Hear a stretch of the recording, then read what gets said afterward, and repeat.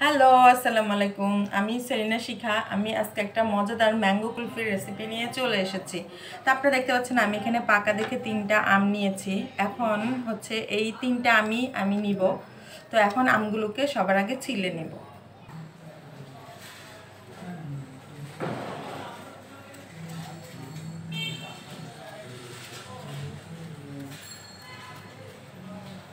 তো এভাবে তিনটা আমকে আমি ছিলে টুকরো করে তারপর ফিরে আসতেছে।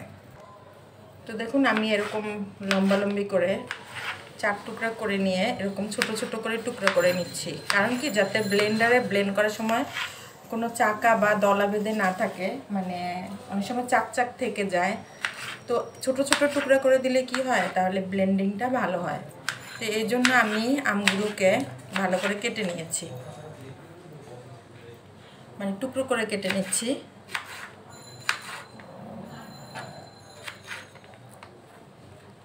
এটা একটু হালকা শক্ত মানে কচকচা, আর বাকিগুলো একটু ভালোই পাকা ছিল। তো এখানে প্রায় চারটার মতো আছে। একটা এই এরকম ছিল, একটু কাঁচা কাঁচা ভাব ছিল। তো এটার একটা পাট নিছি আর বাকিটা খেয়ে ফেলছি। আর তারপর আমি আরেকটা ছোটোর মধ্যে পাকা নিয়েছি। তো টোটাল এখানে মানে তিনটার বেশি বলা যায় মানে চারটার কাছাকাছি। তো যাই হোক, তো এরকম দেখতে পাচ্ছেন আমি ছোট ছোট টুকরো করে নিয়েছি। এখন আমি যেটা করব অফ ক্যামেরায় এই আমগুলোকে আমি ব্লেন্ডারে জারে নিয়ে ব্লেন্ড করে তারপর ফিরে আসতেছি। তো দেখুন, আমি ব্লেন্ড করে ফিরে এসেছি। দেখুন মাসাল্লাহ কি সুন্দর পেস্ট হয়েছে। এই জন্য পাকা ঠসঠসে দেখে আম নিতে হবে।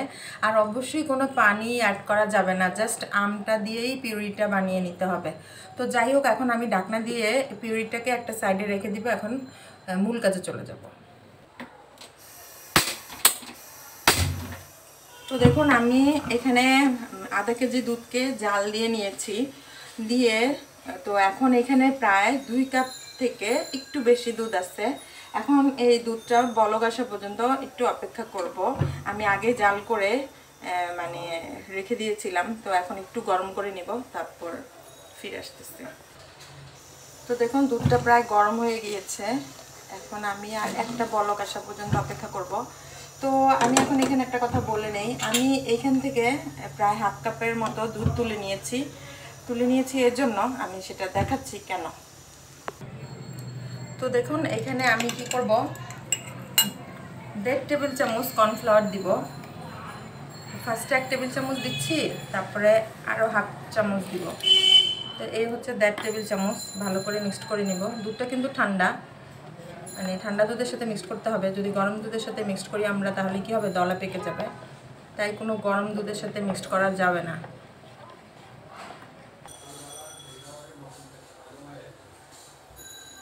দেখা তো দেখুন, আমি গোলানো কর্নফ্লাওয়ারটা একটা সাইডে সাইড করে রেখে দিয়েছি। এখন আমি মেজারমেন্ট কাপের যে ওয়ান ফোর্থ কাপটা সেটাতে করে চিনি দিয়ে দিলাম ওয়ান ফোর্থ কাপ দিয়ে এখন কি করব? ভালো করে এই চিনিটা নেড়ে নিব। চিনিটা গলে যাওয়া পর্যন্ত অপেক্ষা করব। তো ভালো করে নাড়াচাড়া করব। তো দেখুন, চিনিটা প্রায় গলে গিয়েছে। এখন আমি এখানে কি করব? আমি আমি যে কর্নফ্লাওয়ারটা গুলে রেখেছিলাম, সেটাকে আবার একটু নেড়ে চেড়ে নিব। চুলাটাকে একটু কমায় দিব মানে মিডিয়াম আঁচ করে দিব। যেহেতু আমি কর্নফ্লাওয়ার মিক্সড করব এখানে। এখন আমি কি করব, এই কর্নফ্লাওয়ারটাকে একটা ছাঁকুনিতে ছেঁকে তারপর ঢেলে দিব। তো দেখুন, আমি ঢেলে দিয়েছি। এখন আমি ঘন ঘন নাড়বো। যেহেতু কর্নফ্লাওয়ার দিয়েছি, দুধটা আস্তে ঘন হয়ে আসবে, তাই একটু ঘন ঘন নাড়াচাড়া করতে হবে। আর চুলাটাকে মিডিয়াম আঁচে রেখে দিতে হবে। এখন কয়েকটা বলক আসা পর্যন্ত আমি অপেক্ষা করব। তো দেখুন, আমি মিডিয়াম আছে জাল করছি। অলরেডি ঘন হয়ে গিয়েছে দুধটা, আপনারা দেখতে পাচ্ছেন। দেখুন, ঘন হয়ে গিয়েছে। আমি আর এক দুই সেকেন্ডের মতো জাল করব, তারপর চুলাটাকে বন্ধ করে দিব। তো দেখুন, এখন আমি চুলাটা বন্ধ করে দিব আর ঘন ঘন নাড়াচাড়া করব। যেন স্বর্ণা বসে যায়, তাই আমি ঘন ঘন নাড়াচাড়া করে এটা, এই দুধের মিশ্রণটাকে ঠান্ডা করে নিব। তো দেখুন, এই মিশ্রণটা দুধের মিশ্রণটা ঠান্ডা হয়ে গিয়েছে। এখন আমি কি করব? এখানে আমের পিউরিটা ঢেলে দিব।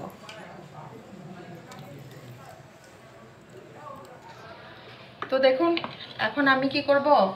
এই দুধের মিশ্রণের সাথে এই আমের পিউরিটা বা ম্যাঙ্গো পিউরিটা ভালো করে মিক্সড করে নিব। তো দেখুন, এখন আমি কি করব?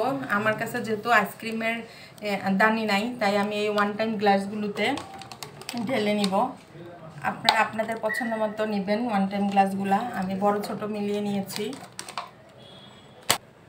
তো দেখুন, এখন আমি কি করব এই ওয়ান টাইম গ্লাসে যে ম্যাঙ্গো মিশ্রণটা আছে, যে আমি যে কুলপিটা বানাবো, সেগুলো আমি ঢেলে নিচ্ছি।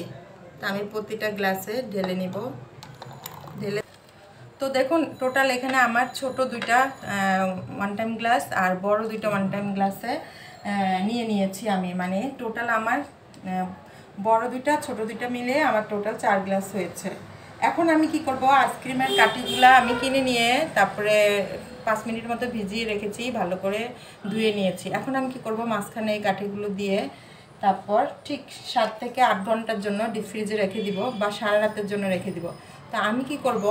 সারা রাতের জন্য রেখে দিব, ইনশাল্লাহ পরের দিন আমি এই আইসক্রিমগুলো ডিপ থেকে নামাবো, এর মধ্যে আর ধরবো না। তো এইভাবে আমি কী করব? আপনারা ইচ্ছা করলে র্যাপিং পেপার দিয়ে মুড়িয়ে, তারপর মাঝখানে ছুরি দিয়ে একটু ছিদ্র করে ওই কাঠিগুলো ঢুকিয়ে তারপরে ডিপে রাখতে পারেন। বাট আমি এগুলো কিছুই করব না, আমি এভাবেই ডিপে ভরে রাখব। আর ইনশাল্লাহ আগামীকাল, আজ মানে আমি এখন রাতের বেলা বানিয়েছি, তার মানে আমি সারা রাতের জন্য রেখে দিব। পরের দিন সকালে দশটা টাকাটার দিকে বের করব আর কি। আর আপনারা যদি মনে করেন যে দিনের বেলা বানায়, বানান, তাহলে অবশ্যই আট ঘণ্টার জন্য রেখে দিবেন। তো আমার চ্যানেলে আরও অনেক মজার মজার মানে চকলেট, ভ্যানিলা ও ম্যাঙ্গো বক্স আইসক্রিমের রেসিপি দেওয়া আছে। যদি আপনাদের মন চায় আপনারা ঘুরে আসতে পারেন। তাছাড়া আমার চ্যানেলে বিভিন্ন ফেস প্যাক ও হেয়ার প্যাকের রেসিপিও আসছে তো আমার এই ম্যাঙ্গো কুলফি জমা পর্যন্ত ওয়েট করি। ইনশাল্লাহ পরের দিন দেখা হবে।